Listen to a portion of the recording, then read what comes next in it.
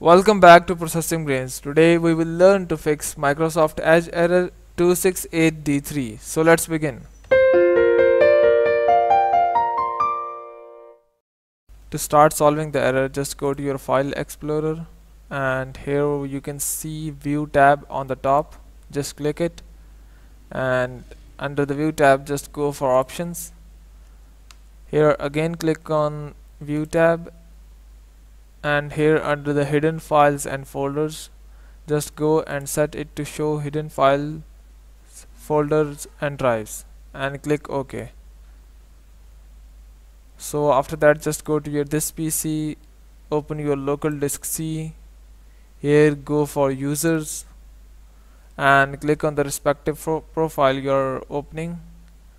Just go I'm going for home. And here you would see a hidden folder app data just go and open it. After that just go for local and here search for packages open it. After that just go and search for Microsoft Edge. And here we have Microsoft Edge. Just go and right click it and delete it.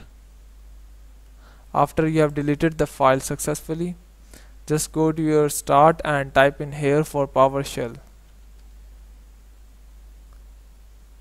here we have Windows PowerShell. Just go and click it as run as administrator. Allow the permission. After Windows PowerShell is open just go to your description. I have pasted a command there. Just go and copy it. For myself I have pasted it in notepad. I'm just going and copying it and just go and paste it here and hit enter. It will take some time and re reinstall Microsoft Edge to its original form and your error will be solved. If you still have any issue you can comment below. I will try to answer that. Please subscribe like and share. Thank you